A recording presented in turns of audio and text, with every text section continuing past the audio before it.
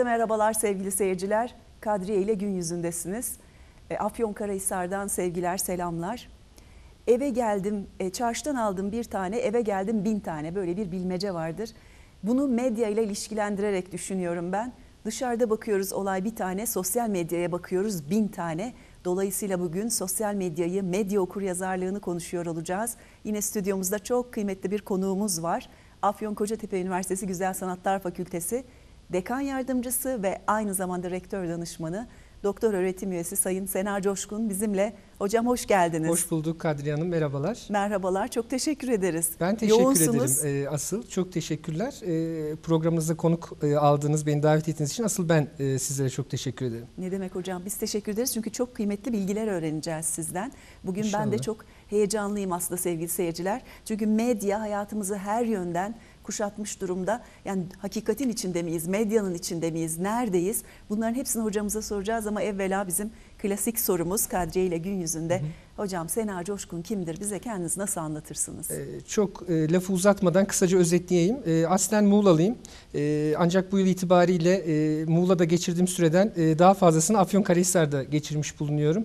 E, 2003 yılında Gazi Üniversitesi İletişim Fakültesi Radyo, Televizyon ve Sinema bölümünden mezun olduktan sonra aynı yıl e, aynı ana bilim dalında yüksek lisansa başladım. 2004 yılında da Afyon-Kocatepe Üniversitesi'ne araştırma görevlisi olarak e, atandım. O yılda e, henüz öğrencimiz olmadığından dolayı Basın Halkla İlişkiler Müdürlüğü'nde görevlendirildim. E, o süre zarfında e, uzun yıllar e, Basın Halkla İlişkiler biriminde üniversitemizin kameramanlık, e, müdürlük gibi görevler e, yürüttüm. E, 2016 yılında da devam eden doktora öğrenimimi radyo ve televizyon yayın hizmetlerinde denetim adlı e, tezimle tamamladıktan sonra fakülteme e, döndüm. Hali hazırda e, eğitim öğretim faaliyetlerimizin, akademik çalışmalarımızın yanı sıra sizin de az önce belirttiğiniz üzere dekan yardımcılığı ve rektör danışmanlığı gibi idari görevleri de yürütmekteyim. Hocam bir koltukta bir sürü karpuz ancak anlıyoruz ki siz mutfaktan yetişmişsiniz bir taraftan da. Değil mi? Kameramanlıktan söz ettiniz. Yani e, aşa, bütün aşamalarda bulunmuşsunuz. İster istemez e, lisans öğrenimi esnasında zaten uygulamalı ve teorik eğitim bir arada veriliyor iletişim fakültelerinde, radyo, televizyon, sinema bölümlerinde. Kamerayı elimize almadan, herhangi bir yapımın içerisinde bulunmadan, ekip çalışması yapmadan e, mezun olma şansına zaten e, sahip değilsiniz. E, çok şükür çok iyi hocalardan e, iyi bir eğitim aldığımı düşünüyorum. E, aynı şekilde, aynı titizlikle de kendi öğrencilerime bir şeyler verme gayreti içerisindeyim. E, tabii çalışma hayatımda da belirli dönemlerde kameramanlık, e, seslendirmenlik, e, yine radyoda programcılık yaptığım dönemler de oldu. E, çok uzun yıllar e, belki sektörde bulunma gibi bir deneyimim olmadı. Akademiye hızlı bir e, girişim oldu. Hep hayalimdi çünkü ona dönük hep hazırlık içerisindeydim. E, ama dediğiniz noktada da belirli bir birikim elde ederek hayat yolculuğumuza devam ediyoruz. Çok güzel. Hocam şimdi ben sorular hazırladım size. Sizinle de koordineli olarak elbette. Ee, onları sorayım sevgili seyircilerimizle birlikte bilgilenelim. Medya okuryazarlığı deyince biz ne anlamalıyız? Hani okuryazarlık deyince bir şeyler biliyoruz ama hani okuma yazma seferberlikleri Evet. oluyor filan. Ama medya okuryazarlığı nedir? Ee, çok güzel bir soru. Tabii ki de e, önce kavramı tanımlayarak sohbetimize başlayabiliriz. Ben öncesinde şunu belirtmek istiyorum. Bir kere medya okuryazarlığını çok önemseyen bir akademisyen olarak bunun çok daha farklı mecralarda, çok daha derinlemesine konuşulması gerektiğine e, inanan birisiyim. E, kavramın çünkü ülkemize girişi okullarda okutulan bir ders olarak başladığından dolayı sanki e, o derste başarılı olup e, geçildikten sonra o kavrama ilişkin pek çok şey öğrenilmiş, öğrenilmiş olacak gibi. bir yanılsama aslında e, söz konusu. Aslında bu kavramın bir nevi içinin boşaltılmasına da yol açıyor. Halbuki daha fazla bilinçlenmemiz. e, çünkü medya dediğimiz e, araç, mecra e, içerisinde olumsuz içerikleri de zaman zaman barındırabiliyor. E, içinde bulunduğumuz yayın kuruluşunu ve sizleri tenzih ederek aslında bu durumu belirtmek isterim. E, korunmaya muhtaç belirli kesimler söz konusu. Bugün e, onların da üzerinde özellikle çocuklarımızın ve gençlerimizin üzerinde de elbette duracağız.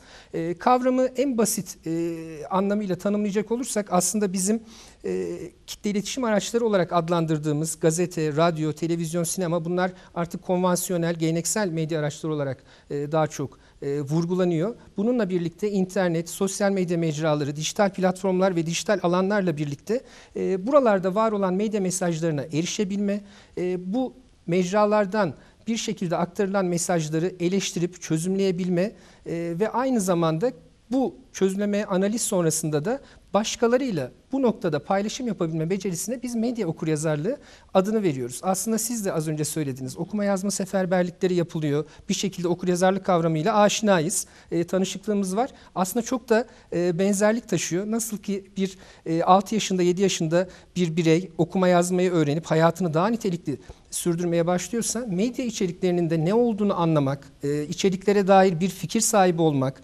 kurmaca mı, gerçek mi olduğunu program açılışında siz de söylediniz. Nasıl bir dünyadayız? Hakikat neresinde e, gördüklerimizin, okuduklarımızın, izlediklerimizin bunlara daha eleştirel bakmak, e, çözümleme becerisine sahip olmak ve bunu da başkalarıyla paylaşabilmek bir nevi okur yazarlık. Dünyada e, 1970'lerin sonu 80'lerin başında artık e, kuramsal olarak ele alınan bir kavram medya literasi adı altında. Ülkemizde de 2000'li yılların sonrasında e, ciddi manada çalışılan, üzerine kurumların da e, bir şekilde efor harcadığı e, bir e, olay, durum söz konusu. Kısaca ona da değinmemiz gerekirse 2003 yılında Radyo Televizyon Üst Kurulu'nun organizasyonuyla Ankara'da bir iletişim şurası e, toplanıyor. Benim de mezun olduğum sene ve yüksek lisansa başladığım sene olduğu için kendim de Ankara'da e, bulunuyor olmam nedeniyle takipte etmiştim. Çok güzel de bir deneyimdi benim için. İlk kez medya okuryazarlığı eğitimi bu şurada gündeme geliyor. Hemen arkasından e, yıllara sari olarak seri bir şekilde Radyo Televizyon Üst Kurulu, Milli Eğitim Bakanlığı, yine Türkiye Büyük Millet Meclisi çatısı altında belirli komisyonlar çalışmalar yürüterek e, orta öğretim kademesinde bu dersin seçmeli bir ders olarak e, gençlere, çocuklarımıza verilmesi noktasında kararlar alınıyor. E, ve yıldan yıla müfredatlar yenilerek e, bugün 2014-2015 yılında yanılmıyorsam en son yapılan müfredat revizyonuyla birlikte hali hazırda okullarda ders olarak okutuluyor. Yine çeşitli kamu kurumları, sivil toplum kuruluşları tarafından medya okuryazarlığına dönük eğitimler e, verildiğini görüyoruz. Şehrimizde de bu yönüyle güzel bir e, adım atıldı. E, geçtiğimiz sene ben de e, içinde bulunduğum kadın kültür evlerinin eğitim projeleri çerçevesinde e, üniversiteden belirli arkadaşlarımla birlikte farklı ilçelerde ablalarımıza, annelerimize, e, kız kardeşlerimize medya okuryazarlığının önemini anlatmaya dönük seminerler verdik. E, çok güzel geri bildirimler aldım, çok mutlu oldum. Çok da faydalı olacağını orta vadede e, hiçbir şey biliyorsunuz bir anda çıktıları alınamayabiliyor ama orta vadede ailelerine siyaret, sirayet edecek, kendilerinin hayatlarında davranış değişiklikleri oluşturacak e, çok güzel eğitimler gerçekleştirdiklerimizi düşünüyorum. E, bu aralar yeniden eğitimlerin başladığını görüyorum. E, önümüzdeki günlerde tabii ki de talep gelirse yine e, o katkıda e, bulunma sürecine biz de destek vermek isteriz. Hocam buradan medya okuryazarlığının ne gibi özelliklere sahip olduğuna bağlayalım konumuzu. Olur. E, medya okuryazarlığını bu şekilde tanımladıktan sonra medya okuryazarı e, kimdir diye düşünecek olsak bir kere medya okuryazarı e, kitle iletişim araçlarını artık tanıyan bir kimsedir. E, hangi içeriğe, hangi kanal aracılığıyla ulaşacağının e, bilincindedir. Bizim bir iletişim akış şemamız vardır. Sizin de e, çok iyi bildiğiniz üzere kaynaktan gönderilen iletilerin alıcıda bir davranış değişikliği oluşturması, bir geri bildirim sürecinin meydana gelmesi beklenir. Kodlama ve kod açma evet. aşamalarıyla birlikte ve kanallar söz konusudur. Bir oluk söz konusudur. Kaynakla hedef arasında. Mesela. Evet. Biz de bir kanal aracılığıyla, Kanal 3 aracılığıyla e, kamuoyunu bilgilendirmeye, izleyicilerimizi aydınlatmaya gayret ediyoruz. Bu noktada da aslında hangi içeriğe, hangi kanaldan, gazeteden mi, e-gazeteden mi, internetten mi yoksa bir kütüphaneden mi ulaşacak? Basılı bir yayın da söz konusu olabilir. Onlar da birer kitle iletişim aracı. Yine sinema sinema salonundan mı e, izlenmesi gerekir bir filmin yoksa artık bugün hayatımıza etkin bir şekilde giren dijital platformlar e, veya internet sitelerinde çok farklı sayıda film izleme siteleri e, söz konusu. Oralardan mı alımlamak gerekir? Radyo her ne kadar müzik kutusuna dönüşmüş olsa da e, bugün hala hayatımızda en azından yolculuk yaparken bizlere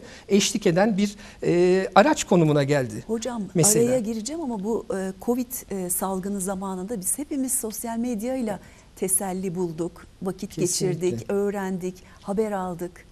E, kesinlikle sosyal medyaya buradan gelecektim. Geleneksel kitle iletişim araçlarından sonra internet zaten artık telefonlarımızda mevcut biliyorsunuz. O kadar teknoloji hızla gelişiyor ki giderek küçülen e, araçlarla hayatımıza doğrudan e, sirayet etmiş, etkilemiş durumda bizleri. Pandemi döneminde de sizin de belirttiğiniz üzere e, söyleşilerimizi, sohbetlerimizi, eğitimlerimizi Zoom diye bir platform üzerinden veya benzeri e, yapılar YouTube'dan Skype bağlantıları aracıyla gerçekleştirdik. Aslında önemini de e, çok iyi anladı dünya. Sadece e, bizden ibaret değil dünya halkları. E, ve bir nevi teknolojik okuryazarlık düzeyi de pandemi vesilesiyle artmış oldu. Tabii bununla ilgili farklı komplo teorileri de e, söyleniyor. Bu bilinçli bir şekilde e, teknolojik bombardıman, daha fazla ürün satmak, yine burada ticari bazı e, arka planda e, kaygılar olduğu, söylemler olduğunu görüyoruz ama biz her zaman bardağın e, dolu tarafından hadiselere yaklaşmamız gerekir düşüncesiyle ben hadiseye yaklaşıyorum. Bu anlamda da gerçekten e, sosyal medyanın, internetin ve diğer geleneksel medya araçlarının her ne kadar e, kısmen de olsa ilgimiz onlara bir miktar azalmış olsa da hali hazırda hayatımızda etkili olduğunu düşünüyorum. E, medya okuryazarlığı becerilerini o tanımda yaptığım e, kitle iletişim araçlarını tanıma, e, onları eleştirip oradaki içerikleri eleştirip çözümleyebilme ve bunları paylaşma becerisine sahip olan bir kimse e, dediğim gibi ilk önce medya araçlarını tanır bir e, konuma geliyor. Biliyor hangi medya aracından nasıl kendime dair bir veriye ulaşabilirim. Çünkü medya dediğimiz e, kitle iletişim araçlarının çok farklı işlevleri var. Haber almak için kullanabiliriz, eğlenmek için kullanabiliriz değil mi? İletişim E, için iletişim için kullanabiliriz. Yine e, bu kitle iletişim araçlarının kamuoyu oluşturma misyonları var. Mal ve hizmetleri tanıtma gibi misyonları var. E, nesilden nesile kültür aktarma gibi Psikolojik işlevleri sağlık var. için kullanabiliriz. Sağlık ihtiyaçlarımız için eğitim amaçlı kullanabiliriz. Sağlık eğitimi veya din eğitimi farklı farklı noktalarda yararlanabilme imkanımız var. Bu noktada tanımak birinci düzeyde medya okuryazarı olmanın başlangıcı. Yine ihtiyaçlarına en uygun medya aracını belirleyerek ona bir şekilde nasıl uğraşacağını da artık kavramış olacak. Medya okuryazarı medya aracılığıyla iletilen tüm mesajları anlayıp bir şekilde yorumlama becerisine sahip olmasını bekliyoruz. Yine bu mesajları değerlendirip çözümleyen bir e, bireye dönüşmesi Ayırt gerekiyor. etme Ayırt etme, sorgulama, eleştirme Sorgulama. yani o farkındalık bilincinin mutlaka e, yükselmesi bekleniyor iyi bir medya. Okur yazarından. En nihayetinde de aslında e, söz konusu medya içeriğiyle ilgili değerlendirmelerini gerek medya profesyonellerine, o içeriği oluşturanlara gerekse kendisi gibi medyayı kullanan kişilere aktarma becerisine sahip olmasını bekliyoruz. Bu da çok önemli. Çok Çünkü paylaştıkça e, olumlu şeyler yayılacağı gibi olumsuzluklardan e, bir şekilde etkilenmede e, karşılaşabileceğimiz riskleri de aslında kavrama şansına e, bu yönüyle sahip olabiliriz. Medya okur yazarı aslında bu özellikleri taşıyan bir bireye zaman içerisinde dönüşecektir diyebiliriz Kadriye Hanım. Çok güzel. Peki hocam sosyal medya ve e, geleneksel medyayı her yaş grubundan insanın kullandığını görüyoruz. Yani biz de kullanıyoruz. İşte küçücük çocukların elinde de iPad e, çeşitli marka telefonları, bilgisayarları görüyoruz. Her yaş grubu etkin kullanıyor. Adeta e, müptelası olmuş gibiyiz diyeyim tırnak içinde. Bunu nasıl açıklarsınız? Ee, aslında dediğiniz o kadar e, önemli bir husus ki yani bu e, doğru mu, yanlış mı, iyiye mi gidiyoruz, kötüye mi gidiyoruz? Kitle iletişim araçlarıyla bu kadar haşır neşir olurken aslında ne yapıyoruz? Bu soruyu da kendi kendimize Bir sormamız şeyleri lazım. ıskalıyor muyuz? Bir şeyleri ıskalıyor muyuz? Bir şeyleri atlıyor muyuz? Atlıyor muyuz? Yoksa yalnızlığa mı itiliyoruz? Paylaşmaktan ziyade kendi kabuğumuza mı çekiliyoruz? Bunları düşünmemiz lazım. Ben burada aslında en temel e, faktörün herkes yapıyor, herkes izliyor, herkes kullanıyor. Tabiri caizse moda deyimiyle de bunu açıklayabiliriz. Anlayışının e, aslında etkisi olduğunu düşünüyorum. Yani insan fıtratı gereği herkesin yaptığı bir şeyi sanki biz de yapmalıyız veya Tak- işte ben de yapmalıyım. hocam. Ya biraz biraz taklitçiyiz. Belki Taklitçiyiz. özenti hep o çocuklara yapılan uyarı. Hepimiz ergenlik dönemini geçirdik, çocukluk çağlarını geçirdik. İyi arkadaşlarla ka- e, karşılaşın dedi değil mi ailelerimiz hep? E, arkadaşların olumlu taraflarını al, kötüye özenme diye söylendi. Bana arkadaşını söyle sana, Sana, kim, olduğunu olduğunu söyleyeyim. Çok güzel atasözlerimiz de var. Aslında bu yönüyle biz bir nevi sosyal dışlanmayla da karşı karşıya kalmamak adına belki de e, herkes yapıyor ben de yapayım. Bu her yaştan insan için geçerli. Yani ben e, kendi aile büyüklerimden de biliyorum. Annem e, arkadaşlarıyla veya işte akrabalarıyla bir oturma esnasında e, bir sosyal medya mecrasıyla tanıştığı zaman bunu kardeşime veya bana oğlum benim de böyle bir hesabım olsa keşke diye geri bildirim olarak sunabiliyor. Neden? Çünkü onlar da kullanıyor. Veya onlar torunlarının fotoğraflarını birbirlerine gösteriyorlar, takip ediyorlar. O da aynı e, duyguyu tatmak, aynı hazzı yaşamak e, belki istiyor. Hocam Facebook bir ara böyleydi biliyorsunuz sözünüzü Evet, unutmayın. yok, Okul arkadaşlarını falan buluyordu insanlar 20 Tabii. yıl evvel, 30 yıl evvel, ilkokul, ortaokul. Hatta Facebook için şu anda belirli bir yaş grubunun üzerindeki kitleye hitap ettiğine ilişkin e, çalışmalar da yapılıyor gerçekten. Hocam Okan Bayülgen mezarlık diyor Facebook'a. E, Doğrudur. Yani e, işte yaş grubundan kaynaklı o yorumu de. yaptığını düşünüyorum. Tabii o kendisini bağlayan Tabii bir ki, yorum. tabii E, genç kardeşlerimiz, e, arkadaşlarımızın da var olduğunu halihazırda biliyoruz. Zaten çok ciddi bir dünyada eğilim söz konusu. Onunla ilgili de birkaç rakamı aslında izleyicilerimize paylaşmak isterim. Bugün dünya üzerinde yaşayan yaklaşık 8 milyar insanın 4,5 milyarı e, internet, 5 milyara yakını da cep telefonu kullanıyor. Yani ne kadar e, büyük bir rakama ulaştığımızın göstergesi. Ülkemizde de yine nüfusumuzun yaklaşık %80'i internet kullanıcısı, %90'lık kesiminde en az bir cep telefonu var. Artık bitmiş yani ülkemizde e, neredeyse internet girmeyen bir hane e, olmamaya başlıyor. Zaten pandemi bunu mecbur da kıldı. E, programın ilk bölümünde e, konuştuğumuz gibi e, tabletlerle, bilgisayarlarla, uzaktan öğrenim imkanlarıyla eğitim öğretimin sürdürülebileceğine tabii ki çok etkin değil. Tabii ki eleştirilmesi gereken çok yer var. Buna ilişkin bir kanaat oluşmaya başladı. Ee, insan fıtratından bahsetmiştik. Gerçekten e, herkesin yaptığı bir şeyin dışında kalmama, çoğunluğa uyma eğilimi bizi aslında en başta sosyal medya mecralarına itiyor. Yani itici etkenin, faktörün e, ben kesinlikle bu olduğunu düşünüyorum. E, özellikle bu teknomedyatik çağ olarak adlandırabileceğimiz bu postmodern dönemde de bizim en e, büyük meşgalemiz cep telefonlarımızda vakit geçirmek oldu maalesef. Hocam oyuncağımız onlar bizim Evet. neredeyse. Yani bazı e, alanda çalışan hocalarımız, kuramcılar mahremiyetimizi cebimizde taşıdığımıza dair keskin cümleler bile ifade ediyorlar. Gerçekten katılıyorum. En özel anlarımıza ilişkin görüntülerimiz, videolarımızındaki içerisinde yer aldığı, eğer erişime açık e, hesaplar e, kullanıyorsak yine tüm kamuoyuyla, dünyayla paylaşıma açtığımız e, kendimize ait özel kalması gereken hususların e, paylaşıldığı bir ortam Bu da söz konusu. ürkütücü yanı herhalde Evet, hocam. Evet evet kesinlikle ürkütücü. Yine popüler bir kavramdır mesela ajanlık, casusluk. Ee, zaten az sonra yine değinmek istediğim bir husus var. Yapay zeka algoritmalarıyla biz zaten sürekli takip ediliyoruz. Yani cep telefonlarımız ortamda dinleme yapıyor mu, izleme yapıyor mu bilmiyoruz ama arama motoruna herhangi bir şey yazdığımız vakit ona ilişkin pek çok reklamın, pek çok içeriğin e, karşımıza geldiğini Yağdığını görüyoruz. Yağdığını Yağıyor görüyoruz. hocam. Çünkü bize hayatımızı yönlendirici içerikler sunmak isteyen başka bir arka planda çalışan bir akıl var. Akıl var. Aslında bir nevi ürkütücü tarafı sizin de belirttiğiniz üzere bu. Yönlendiriyoruz. Sanki bir kuklayız. Nereye gitmemiz, ne satın almamız, ne izlememiz, ne yememiz değil mi? Bir süre sonra ona dönecek. Gerektiği bize sanki söyleniyor. Yani Yani şu andaki başlangıcında bile bu durum var. Hocam hatta şöyle söylemişti bir e, düşünür, televizyonda benim takip ettiğim bir düşünür. E, zaman içerisinde mesela bir arama motoruna bir cümle yazıyoruz ya, yok sen onu değil şunu demek istedin deyip bize onu değil öbürlerini getirecek. Ben bunu son 15-20 gündür görüyorum. İnanır mısınız? Yani çeşitli arama motorlarında yazdığım kelimenin devamında daha önceden de çok e, benzer şeyler çıkardı ama aşağıya dökülürdü. Şimdi direkt e, arama motorunun olduğu hanede buna ilişkin e, yazılar olduğunu görüyorum Değil ve mi? korkmaya başlıyorum. Evet Ürkütücülük burada aslında. Çok. Nereye acaba e, süreç evrilecek diye korkuyoruz. Tüm bu söylediğimiz şeyler işte insan fıtratındaki o her şeye karşı ben de bulunayım algısı, arzusu e, bizi aslında her kesimden insanı birer sosyal medya kullanıcısı haline de dönüştürüyor. Evet. Hocam çok güzel gidiyoruz. E, e, ikinci bölüme geçmek için araya dört dakikamız var. Öyle mi? Bu dört dakika içerisinde ben yeni bir soru sorayım. Devamını e, ikinci bölümde Tamam. tamamlayalım, sürdürelim Hı hı. hocam. Medyanın toplum üzerindeki etkileri dikkati etkilerini dikkate alacak olursak kitle iletişim araçlarıyla aktarılan mesajlardan hangilerinin üzerinde durmak gerekir? Hani okur yazarlıkla çok ilişkili bir şey yani Evet. seçme, ayıklama, Evet teyit kesinlikle. etme. Ee, aslında medya ile bizim kurduğumuz ilişkinin e, ilk olarak tek yönlü bir ilişki olmadığını vurgulamamız gerekiyor. Ee, tamamen karşılıklı bir ilişkimiz e, söz konusu. Her iki tarafında kendine ait bakış açıları, ilgileri, rolleri ve sorumlulukları var. Ee, nasıl e, bunu açımlayabiliriz? Şöyle, e, örneğin bizim televizyona veya bilgisayar ekranına baktığımız gibi onların da aslında o içeriği oluşturan e, kitlenin de toplumu etkileme amacıyla bizim tutumlarımıza, alışkanlıklarımıza, belki kısıtlarımıza ya da yaşam şekillerimize baktıklarını fark edebilmemiz lazım. Bu yönüyle de daha kontrollü, daha dikkatli ve eleştirel bir izleme. İzlemeden kastettiğim şey sadece tabii ki de televizyon değil.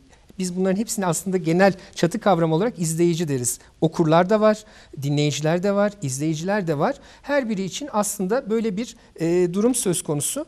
E, yine sürekli edilgen bir durumda e, izlediğimizi varsayalım medya içeriklerini. Bu internetteki bir yazı olabilir, bir sosyal medya mecrasındaki paylaşım olabilir. Sadece edilgen bir şekilde baktığımızı hiçbir şekilde ayırt etme becerisi sergileyerek sorgulamadan hadiseye yaklaştığımızı düşünelim. Bu edilgenlik bizi maalesef e, üzülerek söylediğim bir kavram derslerde öğrencilerimle de paylaşırım. Tamamen zihinsel bir tembelliğe itecektir. Bu da beynimizin, fikirlerimizin uyuşmasına, daha sığ fikirlerle analitik düşünemeyen, derinlemesine e, fikir sahibi olamayan bireylere dönüşmemize yol açacaktır. E, yine bireylerin e, farkında olmadan gerçekleştirdikleri eylemler, e, aynı tür medyanın aynı temsilcilerini takip eden bireyler e, kendiliğinden bir aynılaşma, aynı insanlara, aynı varlıklara e, dönüşme eğilimi e, sergileyebilirler. Medya üreticilerinin e, bir şekilde, medya içeriğini üretenlerin bir şekilde e, farklı kimseler de olabileceğini, aynı şeyleri düşünüp söyleyip yapmanın bizi sadece tekrara, aynı bireyler olmaya iteceğini yine fark etmemiz lazım.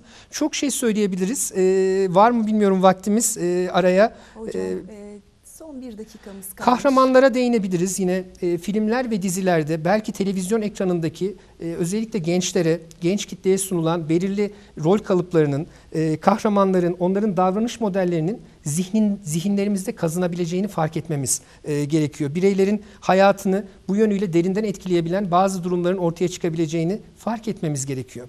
E, hatta belirli saptamalar da var bununla ilgili. Medya içeriğini taklit ederek kendi hayatında e, belirli adımlar atan insanların başına gelen olayların da e, neler olduğuna ilişkin e, bir arama yapsak çok sayıda habere ve bilgiye de e, ulaşabiliriz. Medyanın e, yine yaptığı yayınlar doğrultusunda bireyler farkında olmadan kalıplaşmış bazı yargıları da benimseyebiliyorlar. Örneğin bir şehrin insanları belirli özelliklere sahipmiş gibi e, bir e, yargı bireylerde, izleyicilerde gelişebiliyor. Belirli bir meslek grubunun mensuplarını hep aynı falanca özellikleri taşıyorlarmış gibi e, Algılaya- yaftalayabiliyoruz, algılayabiliyoruz. algılayabiliyoruz. Hocam burada bir virgül koyalım. Tamam. Ee, kıymetli izleyiciler bir reklam arası vereceğiz. Bizden ayrılmayın. Kadriye ile gün yüzü ardından devam edecek.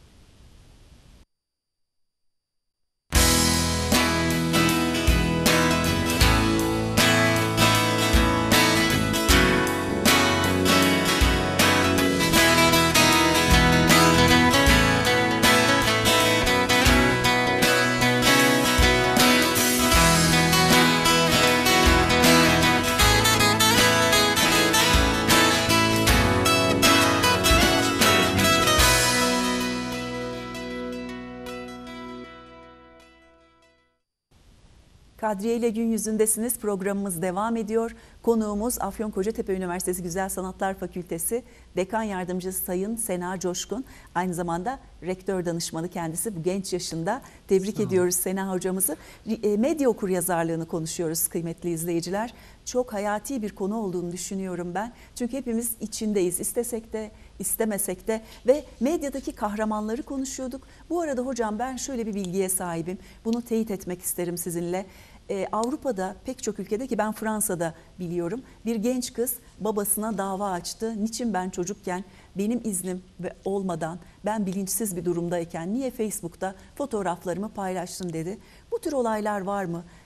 Ve Facebook'ta kahramanlar ya da internet, sosyal medyada kahramanlar bu influencer denen kişiler kimlerdir? E, bunlara nasıl seçmeli, dikkat etmeliyiz? Buradan devam edip diğer Evet. sorumuza geçelim. Aslında iç içe geçmiş pek çok e, soruyu da yönelttiniz. E, hepsini yanıtlamaya gayret edeyim. Aslında tam reklam arasına giderken e, kahramanların izlediğimiz içeriklerde yer alan e, belirli kalıplaşmış rol modelleri olarak gençlere çok farklı şeyler de söyleyebildiğinin altını çiziyorduk. E, bu noktada ebeveynler de hali hazırda sosyal medyanın tırnak içinde söylüyorum bir nevi esareti altındayken onlara birilerinin e, bir şeyler söylemesi gerekiyor. İşte medya okuryazarlığı eğitimi, örgün eğitim düzeyinde verilen veya farklı ortamlarda verilen medya okuryazarlığı eğitimi bir nebze de olsa onların belki bilinçlenmesini sağlayabilir. E, yurt dışından vermiş olduğunuz örnek o kadar doğru ki yani Avrupa'nın belirli ülkelerinde e, artık e, ailelerine dava açan gençler olduğunu görüyoruz. Daha önce yapmış oldukları paylaşımlarla ilgili. Japonya'nın e, sosyal medyadaki paylaşımları belirli bir yaş grubunun altındaki çocuklara e, yasakladığını görüyoruz. Ülkemizde de aslında kişisel verilerin korunması kanunu kapsamında yapılan çalışmalarla birlikte unutulma hakkı diye e, bir kavram meydana geldi. Burada kısaca ona değinebiliriz. E, arama motorlarında kişiler kendileriyle ilgili haber, bilgi, görsel ve benzeri e, içeriklerin e, o arama motoru aracılığıyla erişilmesini arzu etmiyorlarsa bunu istememe hakkına sahipler. Ama bizim anne ve babalarımız daha bilinçli düzeye gelirse çocuklarımızın, gençlerimizin veya işte kendimizin e, böyle bir hakkı kullanmaya e, mecbur kalmadan otokontrol sağlamış olan ebeveynler aracılığıyla bu sorunu doğrudan ortadan kaldırma şansımız da var. O yüzden bilinçlenmeleri gerekiyor. Belki az sonra yetişkinlerin e, buradaki rolünü de konuşuruz. Yine e, gençlerden siz bir parantez açtınız. Aslında şöyle bir hakikat de var. E, popüler kültürün, e, tüketim toplumunun e, etkisiyle bir şekilde e, gençlerimizin sosyal medyayı farklı arayışlar içerisinde de kullandığını görüyoruz. Sanal dünyada bir nevi popülerlik kazanabileceklerini, belki ailesinde yeterince e, ilgi görmeyen, kabul görmeyen, sevgi görmeyen e, gençlerin sosyal medyada e, fake hesaplar olarak adlandırılan farklı kimliklerle veya kendi dışında bireyler olarak e, yer almaya çalıştıklarını görüyoruz. Aslında yegane amaçları da kendilerini gösterme, elbette beğenilme, e, belki e, kendilerine ilişkin bir e, izletme arzusu taşımaları, takdir edilme, onay alma e, gibi e, süreçler üzerine kurulu Çok bu kimlikleri insani arzular insani ve bulamadıkları şeyin belki arayışı içerisindeler. Bu yüzden anne babaya e, az sonra belki değiniriz e, roller düşüyor. Yine yaşları itibariyle henüz olgunluğunu, e, sosyopsikolojik gelişimini tamamlayamamış, olgunluğa erişememiş yetişkinler kadar hayat tecrübesine sahip olmayan bu çocukların ve gençlerin de gerçekten medya içerikleri, yine altını çizerek belirtmek lazım, olumsuz medya içerikleri noktasında korunmaya muhtaç olduklarını da e, belirtmemiz gerekiyor. Son sorunuz reklam öncesi toplumun e, kitle iletişim araçları olan bağıyla ilgiliydi. Orada reklamlara da aslında kısaca e, değinmek isterim. E, o esnada reklamlara da gitmiştik. E, reklamlar elbette öncelikle bir hakikati vurgulamak lazım. Bir yayın kuruluşu, bir medya hizmet sağlayıcı için e, olmazsa olmazların başında geliyor. Çünkü her biri e, Türkiye Radyo Televizyon Kurumu kamu hizmeti yayıncılığı yapıyor. Belki ticari açıdan diğerleriyle aynı kulvarda değil, diğer yayıncı kuruluşlarla ama gerek e, internet mecraları, gerek radyolar, televizyonlar, gazeteler ve dergiler bile her biri birer e, reklama muhtaç konumda gelir kaynağı. E, bu bir hakikat elbette. Fakat bizim reklamlarla ilgili de şöyle bir algıyla aslında medya içeriklerine yaklaşmamız gerekiyor. E, ürün pazarlamaya çalışırken bir değer algısı oluşturuyorlar. Bu ürünün ne kadar değerli olduğunu vurgulayan içeriklerle izleyicilere sunuluyorlar. Aslında acaba bu soruyu kendi kendimize sormamız gerekiyor. Bireylerin mutlu olmaları için sahip olmaları gereken şeyler mi onlara söyleniyor? Bu noktada yine bir e, soru işareti, yine bir sorgulayıcı tavır takınarak e, reklamlara da yaklaşmamız gerektiğini düşünüyorum. Bilmiyorum sorduğunuz sorular iç içe geçmişti. Hepsine yanıt verebildim mi ama? Hepsine yanıt aldık hocam. Bir e, psikiyatr diyor ki me- meşhur bir psikiyatr profesör reklamlar beyin iyiliş şebekeleridir diyor. Evet. Beyin ifade şebekesi diyenler var. Var, Ee, evet. Böyle durumlar var. Yine e, televizyon ve bilgisayar ekranı özelinde aptal kutusu olduklarını da e, burada bizi izleyen ve son derece farkındalık sahibi izleyicilerimizi, bizleri, sizleri tenzih ederek tabii bunları söylüyorum. Eleştiren ve muhalif yaklaşım sergileyen de alanda çalışan e, çok fazla araştırmacı Her olduğunu da şeyin biliyoruz. dozu önemli herhalde hocam. Yani ilaç da bir tane içerseniz şifadır, bin tane içerseniz ölüm getirir. Dolayısıyla her şeyde dozu kaçırmamamız Kesinlikle. gerekiyor. Tam bu noktada güzel bir kavram da var. Ee, son yıllarda alanda çalışılan abur cubur izleme diye bir kavram var. Bilmiyorum duydunuz mu daha önce? Junk food gibi. Evet junk food gibi binge watching diyorlar buna. Ee, artık e, yetişkin ya da genç hiç fark etmez. Çocukları ekrandan belirli saatlerde koruyabiliyoruz. En azından 9-9.30'da uyku saatin geldi hadi yat deniyor ama İnşallah. gençler inşallah diyelim gençler ve yetişkinler bir gecede bir dizinin bütün bölümlerini izleyebiliyorlar. Evet. O merak, acaba ne olacak sorusu, abur cubur izleme nasıl obeziteye, değil mi? Sağlıksız bir hayata insanı itecekse, e, mide rahatsızlıklarından bağırsak rahatsızlıklarına, devamında kalbi tetikleyen ciddi problemlere yol açabilecekse, aslında o abur cubur izlemenin, binge watching'in de insan sağlığı, hem ruhsal sağlığı hem fizyolojik sağlığı e, üzerinde nedenli olumsuz etkileri olduğunu hatırlamamız lazım. Ama biz kaptırıp gidebiliyoruz Gidiyor. maalesef. Hocam çok ayartılmaya açığız psikolojimiz. Yani yaratılışımız itibariyle de yani ayartılmaya açık olduğumuzun farkında olmak bile bir bilinç medya okuryazarlığında. Sue Palmer adında bir İngiliz emekli öğretmen var. Detoxing Childhood, çocukluğu detokslamak diye e, ya da zehirlenen çocukluk diye Türkçeleşmiş bir kitabı var. Öneririm sevgili izleyicilerimize. Orada bu e, izlemeye ve izleyicisine ekran e, koltuk patatesi diyor. Salonunuzda bir patates oturuyor olabilir koltuk patatesi. Bütün gün ekrana Maalesef. bağlanmış. Hatta o konuda bir film de var. E, az sonra hatırlayacağım. E, idiot, idiot, idiotizm mi, idiokrasi mi, idiokrasi. İdiokrasi yani sadece ekran bağımlısı insanın 25. yüzyılda ne hale geleceğini. Evet, işte miskinliğe, bir- tamamen miskinliğe Miskinlik, yönelen, evet. zihin tembelliğine Evet. yönelen bir bireye e, Distopi- dönüşme potansiyeli distopik bir var. film yani üzücü bir film ama e, öneririm. Evet. Çok e, güzel katkılar sizden de alıyoruz. Ne güzel. İzleyicilerimiz için umarım faydalı bir farkındalık bir e, oluşturabiliyoruzdur. Muhakkak E, hocam. Başka nelere değinelim? Ne, E, şuna değinelim isterseniz hocam. Çocuklar kadar yetişkinlerin de e, medya okuryazarlığı eğitimini almaları gerekir mi? e, bu aslında Biraz e, vurguladık ama evet. e, kısacık buna Kesin- yine değinelim. Evet Çok önemli. kesinlikle birazcık daha altını çizerek Açalım, vurgulayabileceğimiz bir altını husus. çizelim. E, yetişkinlerin eğitimi, e, yaşam boyu öğrenme, hayat boyu öğrenme Evet. kapsamında da ele alınan bir kavram. Medya okuryazarlığı noktasında da aslında çok çok önemli görevler düşüyor yetişkinlere, ebeveynlere. E, bir şekilde eğitilmeleri kesinlikle gerekli. Öncelikle bunu e, belirtmemiz lazım. Yaşadığımız yüzyılda çünkü ister genç, ister yaşlı, yetişkin ne olursa olsun herkes e, internete bir e, ihtiyaç duyar hale geldi. Ki pandemi dönemi bunu bize iliklerimize kadar Evet. hissettirdi. İyi var dedik. Ailelerimizden ben gurbette yaşayan e, birisiyim. Annesinden, babasından, kardeşlerinden, yeğenlerinden uzakta yaşayan birisiyim.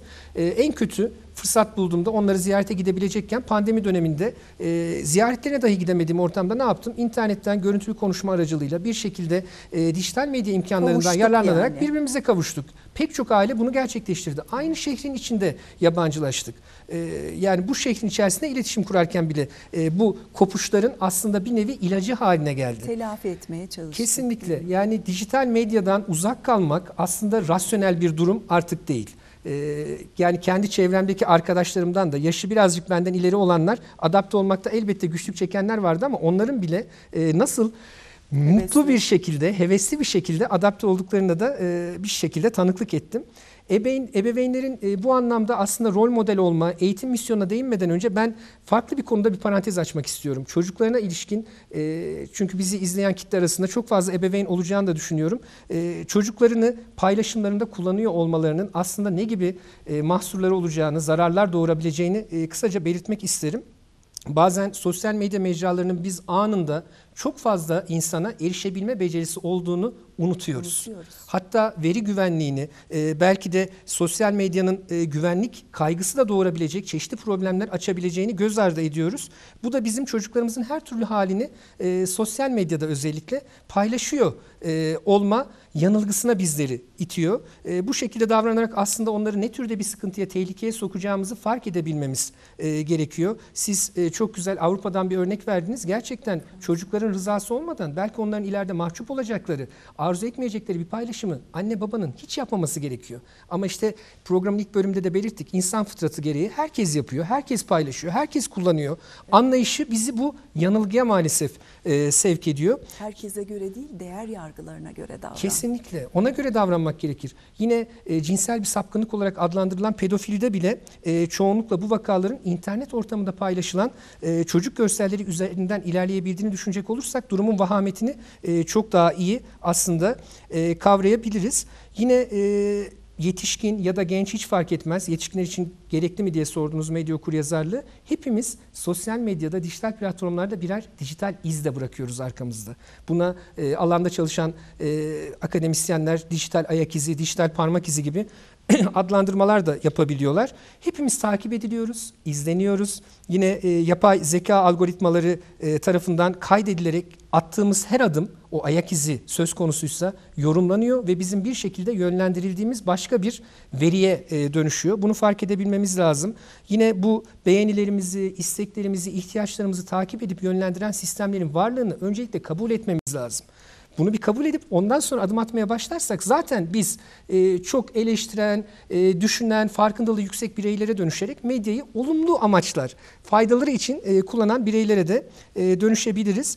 Yine e, ailelere tekrar dönecek olursak yetişkinlerin ve ebeveynlerin mutlaka ve mutlaka çocuklarını medya iletleri açısından da bilgilendirmeleri lazım. Tabii ki önce kendileri belirli düzeyde bilgi sahibi olacak. Sonra da çocuklarını bilinçlendirecek. Daha fazla konuşmaları lazım. Biz e, gelişimleriyle ilgili, okul hayatlarıyla ilgili mesela çok rahat konuşabiliyoruz değil mi evlatlarımızla? E, bir şekilde daha çok çalış, e, daha iyi derslerine yönel, ilgini arttır. Ama medya içerikleriyle ilgili konuşma e, becerisine sahip olmaları gerekiyor. Çocuk hangi yaştan olursa olsun e, anne babanın internet güvenliği ve mahremiyeti hakkında e, çocuklarıyla konuşması, İnternette paylaşılan bu kısım e, çok önemli aslında. Bunun altını çizmemiz lazım. Hiçbir şeyin hiçbir zaman kaybolmayacağını anne babasından da çocuğun duyması onun davranışlarına şekil veren bir durum olacaktır. Gerçekten internette bir şeyi paylaştığınız an geçmiş olsun. Bu bir komplo teorisi değil. Evet, Böyle yani bu bir hakikat, bu. bir realite. Yani bunu kabul etmemiz gerekiyor. Ee, artık yine e, aile içi iletişimin bu noktada önemli olduğuna programın başına değinmiş, değinmiştik. Ee, anne babasından gerekli ilgiyi, sevgiyi görmeyen çocukların da aslında cep telefonlarıyla, bilgisayarlarla, video oyunlarıyla daha fazla e, meşgul olduklarını ortaya koyan çok ciddi bilimsel araştırmalar yapılıyor artık günümüzde. Ve sürekli güncelleniyor. Bu etkinin de giderek arttığını biz e, yaptığımız okumalarda e, görüyoruz. E, maalesef aynı odada zaman geçiriyor olsak bile e, farklı ekranlara bakarak aslında ne yapıyoruz? Kendi dünyamıza çekiliyoruz. Yalnızlaşıyoruz. Yalnızlaşıyoruz. O dünyada da bir korunmaya muhtaç durumda olarak adlandırdığımız çocuğun, gencin nasıl bir iletiyle, nasıl bir içerikle karşı karşıya kalacağı kocaman bir e, soru işareti. Bu anlamda ebeveynlerin iyi birer rol model olmaları e, çok önemli. Aile bireyleri arasındaki bağlar kuvvetliyse teknoloji aslında e, az önce kendi hayatımdan da örnek verdim. Aile içi iletişimi zenginleştirici bir misyon da e, yüklenebilir. Niye olumlu kullanmayalım? Aile içerisindeki iletişimi daha da ayağa kaldırsın, daha da e, canlandırsın. Yine hep anne babaların e, duyarım çevremden de e, çocukların can sıkıntısını almak için e, tabletlerle, bilgisayar Çocuk bakıcısı haline çocuk gelmiş. bakıcısı haline gelmiş Değildir durumda. ama. Kullandıklarını görüyoruz. Aslında bununla ilgili de pedagogların çok güzel e, açıklamaları var. Can sıkıntısı aslında sanıldığı kadar çocuklar için kötü bir şey değil. Biz bu bahanenin arkasına saklanarak e, yanlışlar yapmaya da yönelmemek e, mecburiyetindeyiz.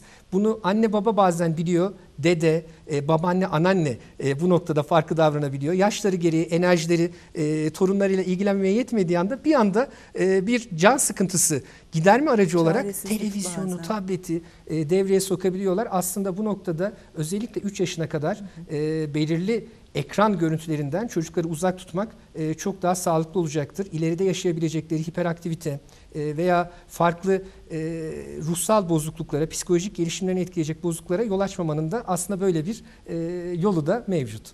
Burada hocamın kitabını hemen önereyim. Ee, 50, sa- 50 yazıda Toplum ve Medya kitabı var Sena Coşkun hocamızın. Ee, Bunu da ilgilenenler Teşekkür okuyabilir. ederim. Bu konuştuğumuz konuların tümü ve daha fazlası kitabın içerisinde yer alıyor. Evet, o da benim için bir yolculuktu. Kısaca e, madem gösterdiniz değineyim. E, Afyonkarahisar'da yayınlanan bir yerel gazetede 2017 senesinde e, sağ olsunlar bir köşe yazmamı talep etmişlerdi.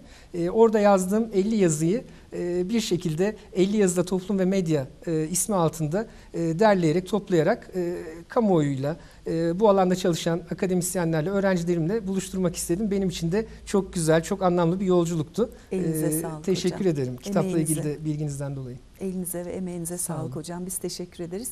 Ee, hocam ben bir kitap okumuştum. Trevenya'nın Shibumi adında bir kitabı. Ee, orada bir bilgisayar var. Bütün insanların neler yaptığını, neleri izlediğini, nereye gittiğini, nereye geldiğini bütün kayıtları tutuyordu. Yani büyük veriyi, büyük datayı toplayan bir makinaydı ve adı da Şişko'ydu. Şimdi çağımızda bakıyorum Şişko'yla ilişkili şeyleri görebiliyorum. Yani bu tür bir büyük veri oluşuyor. Bizlerle ilgili bir bilgi birikimi var. Bu bir komplo teorisi değil. Ee, insan çaresiz kaldığımızda çocuklarımızın eline ekranı ya da e, telefonları, televizyonları veriyoruz. Ancak onları sokakları daha güvenli hale getirip sokakta oynayabilen, mahallenin koruması altında çocuklar olabilmesi dileğimiz. İnşallah öyle olur. Çünkü ekran dediğim gibi çocuk dozunu ayarlayamayacağı ve medya okuryazarı olmadığı için bilinçli seçimler yapamayacağı için ki biz bile e, kandırılabiliyoruz. Bu daha iyi olacaktır diye düşünüyorum. E, buradan hocam bir başka sorumuza geçiş yapalım. Şöyle medya içeriklerini daha doğru okuyabilme, değerlendirebilme ve kendine ait içerikleri daha bilinçli üretip paylaşabilme ihtiyacı hissedenlere neler önerirsiniz? Evet, e, dediğiniz şeylerin her biri için içimden bir şey geçiriyorum. Az önce soruyu Değil sormadan mi? önce söylediğiniz Öyle şeyler için oluyor. yani bir katkıda bulunmak da e, gerekiyor aslında. Devamını da getirmek lazım. Yani özellikle çocukların oyun oynadığı, oyun oynadığı alanların artık dijital ortamlar olduğunu kabul etmemiz lazım. Sokaklar dijital ortamlara dönüştü. Dizlerimiz parçalanırdı, dirseklerimiz parçalanırdı, düşerdik, sosyalleşirdik, kavga ederdik, tartışırdık, biz. annemize babamıza şikayet ederdik e, komşunun çocuğunu değil mi? Farklı farklı sosyal iletişim, etkileşim olurdu. Her biri ortadan kalktı. Bambaşka e, bir dünyadayız. Bu dünyanın sorduğunuz soruya bağlayacağım. Gerçekleriyle aslında öncelikle yüzleşmemiz gerekiyor. Bizim teknolojiyi daha bilinçli, daha etkili, daha sağlıklı, daha güvenli kullanan birer öncelikle dijital vatandaşa dönüşmemiz lazım. Bu olmazsa olmazlardan biri. Devletin de e, kendi imkanlarıyla aslında bizi yönlendirdiği e, mevcut uygulamalar var biliyorsunuz. Artık pek çok e, konuya e-devlet üzerinden, e-devlet imkanları üzerinden erişebiliyor. Ama bu erişimi sağlayabilmek için önce bir e-devlet hesabının oluşturulması gerekiyor kişiler tarafından. Yani bu dijital vatandaşlığı bir kere hissetmemiz lazım. Birincil düzeyde önemli olan husus bu. Yine iyi bir medya okuryazarının medyadaki içerikleri tanımını yaparken söylemiştik. Anlayabilmesi, çözümleyip eleştirebilmesi önemli. Fakat burada profesyoneller tarafından kurgulanmış içeriklerle de karşı karşıya kalabileceklerini bir şekilde idrak etmeleri gerekiyor. Bunun sorgulamasını kendi içlerinde insanların yapması gerekiyor. Hangi yaş grubundan, hangi kesimden e, olurlarsa olsun anlama ve analiz etme çabası içerisinde bulunmaları lazım. Bu noktada da kendimize bir takım sorular aslında sorabiliriz. Ben e, verdiğim hem öğrencilerime verdiğim medya okuryazarlığı derslerinde hem de e, çeşitli e, sosyoekonomik gruplara verdiğim eğitimlerde, medya okuryazarlığı eğitimlerinde bu soruların özellikle yine e, vurgulanmasından memnuniyet duyuyorum. Gözlerinde çünkü göz teması kurduğumda aa evet dedikleri geri bildirim almak beni mutlu ediyor ve yapacaklarına e, inanıyorum. Öncelikle izlediğimiz bir içeriği internet ortamı olabilir, e, sosyal medya imkanları, mecraları olabilir, geleneksel medya ortamları olabilir. Bu içeriği kim oluşturdu? Önce bir bu soruyu sormamız lazım. Kim oluşturdu bu içeriği? Yine e, benim almış olduğum, alımlamış olduğum bu içerikte acaba izlediğim hadisenin bana gösterilmeyen yanları olabilir mi? Çok Saklanan önemli. bazı hususlar var mı? Çok önemli. Yoksa her şey olduğu gibi e, tabiri caizse çıplak bir şekilde mi sunuluyor? Bunu bir düşünmemiz gerekiyor.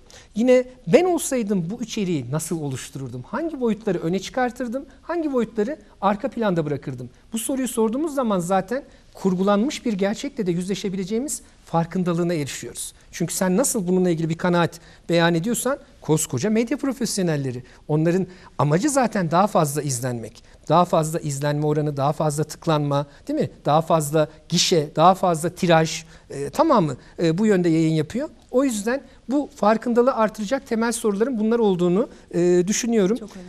Yine gereksinim duyulan her türlü bilginin yer aldığı bu medya içerikleriyle ilişkin daha bilinçli olmamız gerekiyor. Farkındalığın her yaş grubunda oluşması gerektiğini zaten ısrarla söyledik. Aile içi iletişimin e, vurgusunu yaptık. Aile bireyleriyle medya konusundaki fikirlerini e, bireyler paylaşmaya başladıkları andan itibaren bunun e, dalga etkisiyle yayılabileceğini rahatlıkla söyleyebiliriz e, hala hazırda konuşuyoruz çok şükür. Tam anlamıyla e, bazı distopik, ütopik filmlerde, dizilerde de görüyorum. E, insanların giderek daha da içine kapanan, yalnızlaşan bireylere dönüştüğünü ama çok şükür henüz o düzeye gelmedik. Yine içerik üretme noktasında da e, bir cümle onu da belirtmek isterim. Medya kullanıcılarının hak ve sorumluluklarını bilmeleri, yine e, siber zorbalık olarak adlandırılan, linç kültürü olarak adlandırılan kimi ortamlarda veya nefret söylemi olarak adlandırılan hadiselerle karşılaştıklarında nasıl davranacaklarını bilmeleri, buna yönelmemeleri gerektiğinin Da paylaşıp çoğaltıp salgın haline getirmemeleri, onları. kesinlikle getirmemeleri gerekiyor. Yine bu mec- medya mecralarında ileti üretirken e, insanların başkalarının kişisel güvenliğini ihlal edebilme riskleri olduğunu e, fark edebilmeleri, Türkçemizi e, çok düzgün önemli kullanmaları hocam. gerektiğini gerek yazılı iletişim gerek sözlü iletişimde fark edebilmeleri gerekiyor. E, duyuyoruz artık sesli e, uygulamalar da var. E, Yani beş sözcükle konuşan insanlar var. maalesef, maalesef. Yani Kısaltmalarla işte, mesajlaşan, kısa cümleler e, kuran diyeyim hadi yani artık cümle onu çünkü cümle olarak e, o kişiler yorumluyor. E, yine evrensel ve yerel değerleri de gözetmemiz gerekiyor. Yaptığımız e, daha doğrusu bizim oluşturduğumuz medya içeriklerinde e, öneri olarak medya okuryazarı olmak isteyen, bu konuda hassasiyet göstermek isteyenlere e, bunları sorabilirim. E, programın sonuna mı geliyoruz? Toparlasak mı birkaç evet, e, cümleyle? Bitirelim. Son birkaç cümlenizle Tamam. süremizi tamamladık Ee, hocam. Ee, Çok son olarak şunu söyleyebilirim. Ee, özetle aslında medya toplumun bir aynası mı yoksa yönlendiricisi mi? Biz bu noktada bu soruya cevap verdiğimizde ben aslında pek çok e, noktada e, soruların cevabını da bulmuş olacağımızı düşünüyorum. Gerçekten e, kitle iletişim araçları, medya, e, yayın sağlayıcılar toplum bizden bunu istiyor biz de yayınlıyoruz bahanesi arkasına saklanabiliyor. Aslında tamamen yönlendirici konumda olduklarını ve bizim hayatımıza doğrudan sirayet eden e, bir arka plandaki sistemin işlediğini fark edebilmemiz gerekiyor. Sanal ağlara e, öyle bağlı hale geldik ki bugün değinemedik. 50 dakika içerisinde her şeye değinmek mümkün değil. Bağımlılığa dönüşen bir hastalık artık bu medya bağımlılığı, teknoloji bağımlılığı. E, hatta hepimizi e, böyle bir şekilde sıkıntıya sokan, telefonu evde unutmamız, internetin çekmemesi, şarj aletimizin yanımızda olmaması gibi huzurluk veren şeylerin e, çatı adına nomofobi e, adı bugün verildi. Nomofobi diye bir kavram e, insanların hayatına girmiş durumda. Ben e, kendi kanaatimce medya okuryazarlığı düzeyi arttıkça e, daha güvenli, daha bilinçli, daha sağlıklı kullanıcılara, izleyicilere, tüketicilere e, dönüşeceğimize inanıyorum. E, hatta e, izlediğim bir e, programda görmüştüm. E, bir hocamız söylemişti, ismini şu an hatırlayamıyorum. E, medya içeriğiyle aşılanan bireyler, aşı biliyorsunuz pandemi döneminde fazlasıyla hayatımızda önem taşıyan bir kavram oldu. E, daha kolay, e, bir daha kolay kolay hastalanmaz. Hatta medya içeriklerinin olumsuz olanlarına karşı savunmasız e, olmaktan da kurtulur e, demişti. Gerçekten çok doğru. Bir aşı gibi görebiliriz medya okuryazarlığı eğitimini de. insanları, toplumu koruyan e, bir misyonu da olduğunu e, vurgulayabiliriz. Hatırlayalım. Çok teşekkür ediyoruz. Sena Hocam. Ee, kıymetli izleyiciler, medya okuryazarlığının bir çeşit aşı olabileceğini söyledi hocamız. Ben de çok e, beğendim bu sözcüğü. İlgilenenlere Kemal Sayar'la Feyza Bağlı'nın Dijital Çocuk kitabını öneririm. Kitap şöyle bitiyor. E, evet medya etrafımızı sardı. Medya okuryazarı, teknoloji okuryazarı olmalıyız. Teknolojinin felsefesi üzerinde de düşünmeliyiz. E, Ama o kadar da şey etmemek lazım derler ya tırnak içinde. Öyle bitirelim programımızı. E, Her şey olacağına varacaktır. Sevgiyle kalın, afiyetle kalın, hoşça kalın.